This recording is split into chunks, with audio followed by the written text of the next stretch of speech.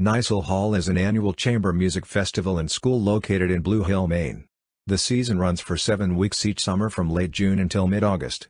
A small faculty works with approximately 50 young artists of collegiate and graduate level at the beginning of their professional careers, concentrating almost exclusively on chamber music for strings and piano. From 1986 until his death in 2015, pianist Seymour Lipkin served as artistic director. The current artistic director is Laurie Smukler.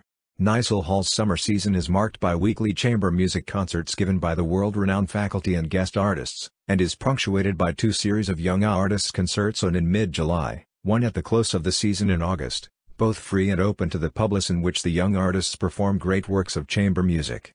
History The origins of the festival date back to 1902, when violinist Franz Kneisel first brought his students to his summer home in Blue Hill.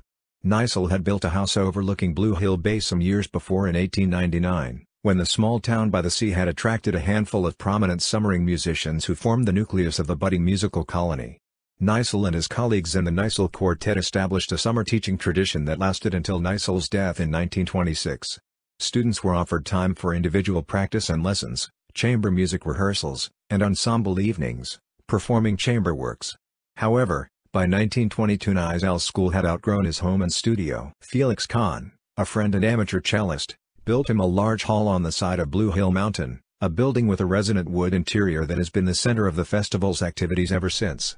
Kneisel's death in 1926 was followed by a long hiatus in summer teaching of classical music in Blue Hill. However, in 1951, the great patron of American chamber music Elizabeth Sprague Coolidge suggested that a festival be held at Kneisel's Blue Hill Concert Hall to mark the 25th anniversary of its founder's death.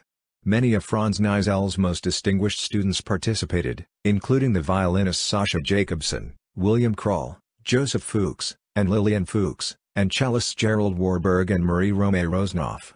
The reunion spurred a full-fledged revival for Kneisel Hall, spearheaded by Kneisel's daughter Marianne Kneisel. The Kneisel Hall Chamber Music School was formally re-established in 1953 by Marianne, pianist Artur Balsam, violinist Joseph Fuchs, and violist Lillian Fuchs.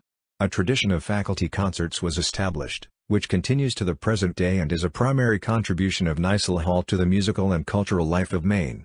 After Marianne Kneisel's death in 1972, cellist Leslie Parnas 1972-84 became director, followed by violinist Roman Totenberg 1984-86.